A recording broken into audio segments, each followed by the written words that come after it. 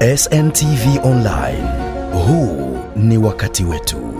Mkuu wa wilaya ya Magharibi B Hamida Musa Hamisi ametoa agizo kwa wafanyabiashara wa soko la Mwanakwerekwe C wanaofanya biashara zao maeneo ambayo yalikatazwa kutokana na kujaa kwa maji kipindi cha mvua inaponyesha na kupisha zoezi la uwekaji kifusi sehemu zenye topetope. tope. Agizo hilo amelitoa bara baada ya kutembelea soko hilo na kujionea hali halisi isiyoridhisha kwa baadhi ya sehemu hizo. Manispaa, tekelezeni wajibu wenu wa kusimamia hilo na ala- atakayezembea kwa sababu yoyote, mkurugenzi, chukua hatua. Kabla ya mimi na wewe hatujachukuliwa hatua na anayetuteua. Nazungumza hayo na kuanzia kesho, kama sio mimi, katibu tawala, meya na mkurugenzi, ofisi yenu hii kuanzia kesho, hakuna ruhusa ya mfanyabiashara yoyote kubaki kwenye eneo linojaa maji. Rudini kwenye utaratibu mlioelekezwa. Alivyoomba utetezi wa kwamba tumezidi, Ndio. turuhusiwe kukaa Meya, ulikuja kwangu nikasema umo mnamo waombea wakae, ndimo mnamo shida ya nini ya maji, au sikwe? Sikusema mkurugenzi, sogea, sikusema hayo. Eneo hili lote mpaka mwisho kwenye plani ya soko hili hakukai watu, pasifanywe biashara. Tulisema kuwekwe nini? Maegesho ya magari ya mizigo yanayokuja kushusha mizigo, wasikae watu, au sivyo? Aliyeruhusu wafanyabiashara wakae nani?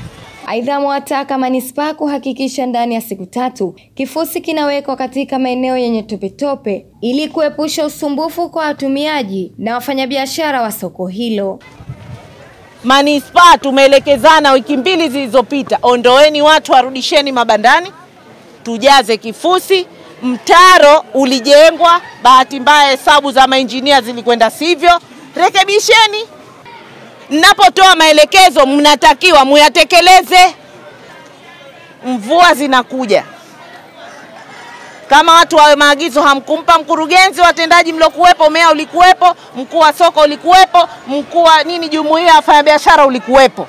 Kifusi manispaa watie, lakini manispaa hawawezi kutia kifusi kabla wafanyabiashara hawajaondoka wakarudi kule. Naomba nitoe maagizo yafuatayo. Mkurugenzi na timu yako, simamia watu kurudi kwenye mabanda. Natoa siku hizi tatu katibu wa jumuiya ya wafanyabiashara na mkuu wa soko, wafanya biashara waliokuwepo kwenye eneo ambalo tulikataza lisifanywe biashara kwa sababu ya maji, warudi kwenye mabanda.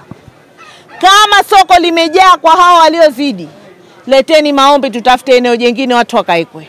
Katibu wa jumuiya ya wafanyabiashara wa soko la Mwanakwerekwe Hamisi Shehe amesema Kisha kuondoshwa watu, soko limevamiwa na wakapeleka maelezo yao mbele ya viongozi wengine ili wapate utetezi kwamba wabakishwe katika maeneo hayo. Mhm. Sasa kama ni hivyo, baada ya kushakutetewa kwamba basi wabakishwe, lakini athari ya kubakishwa kwao ndio inaonekana hivi sasa. Kwa niaba ya wafanyabiashara wa soko hilo, Abasi Sleman na Haji Juma wamesema hali hairidhishi ndani ya soko hilo kutokana na changamoto walizonazo, ikiwemo kutua kwa maji machafu pindi mvua inaponyesha, utupaji wa takataka ovyo, pamoja na kukosekana kwa maji ndani ya soko hilo.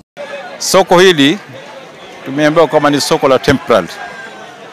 Kwa hiyo wakati ni soko la temporary, inabidi mambo yake yote yanakuwa ndo uhalisia kama tunavyoona, kwa sababu sio soko kama la kudumu. Sawa eh? Kwa hiyo wakati sio soko la kudumu, patakuwa na changamoto nyingi tu. Kwa hiyo kama changamoto zipo nyingi, inabidi tena tuvumiliane tu, endapo kwa mazingira itakuwa kama haya itakuwa kwa kweli haipendezi, kwa sababu sasa hivi ni kipindi cha mvua, maradhi sasa hivi ni mengi.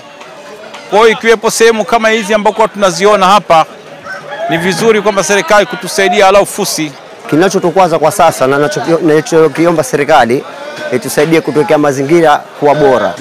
Nikisema mazingira nakusudia masuala ya usafi, kwa sababu tuna changamoto la matope mengi katika soko letu na kujaa maji wakati wa mvua.